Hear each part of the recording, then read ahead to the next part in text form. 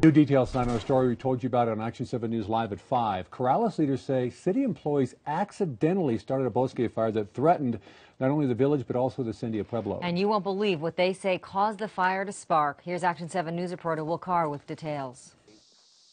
On Thursday, Corrales leaders took us deep into the bosque to show us where they say a city employee accidentally sparked the recent Romero fire. Well, shame on him for not being more careful. While residents aren't happy, they were downright shocked to learn that fire investigators believe an electronic fake cigarettes sparked the fire. We have what we regard as 99.9% certainty about that. Documents state that three members of Corrales' Youth Conservation Corps were patrolling the bosque, ironically watching for fires when one dropped an electronic cigarette and flames quickly erupted. How would a fake cigarette be able to start a fire?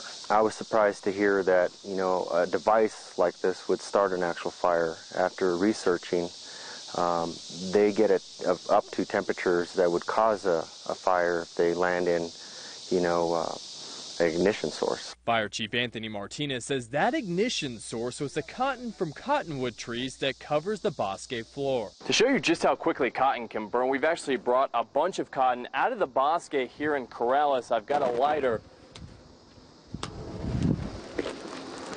And in just seconds, it's all gone. When residents find out that a city employee started this, what do you want them to know?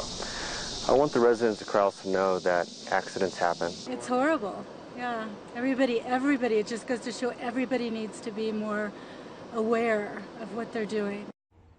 So if you're still asking yourself exactly how a fake cigarette could start a bosque fire, we're told if you take a look on the inside, there's actually a vaporizing mechanism that can heat up and mixed with the right conditions, just like you saw a couple weeks ago, that could potentially start a fire. Now, as for the three village employees, we're told this has officially been ruled as an accident, so none will face charges. Reporting live, Will Carr, KOAT Action 7 News.